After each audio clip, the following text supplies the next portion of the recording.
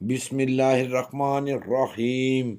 एक हदीस में आया है कि जो शख्स दुनिया में खाने पीने की मकदार कम रखता है, हक ताला शान हो इस पर फरिश्तों के सामने तफाखुर के तौर पर इरशाद फरमाते हैं कि, देखो, मैंने इसको खाने पीने की कमी में मुब्तला किया, इसने सब्र किया, तुम गवाह रहो कि जो लुकमा इसने कम किया है। इसके बदले में जन्नत के दर्जे इसके लिए तजवीज़ करता हूँ।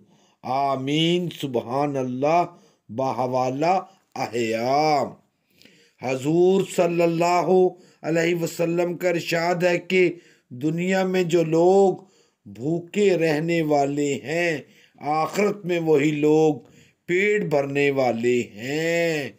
सुबहान अल्लाह और हक ताला शानहू को वो शख्स बहुत नापसंद है, जो इतना खाए कि बदहजमी हो जाए।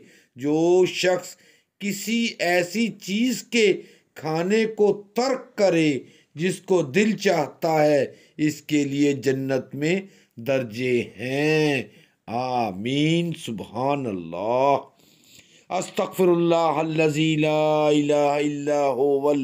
अस्तफ़िरल्लाज़ीलाक़य्यूम वातूबु इलेही। पंद्रह एक सन दो हज़ार तेईस। अल्लाह अकबर।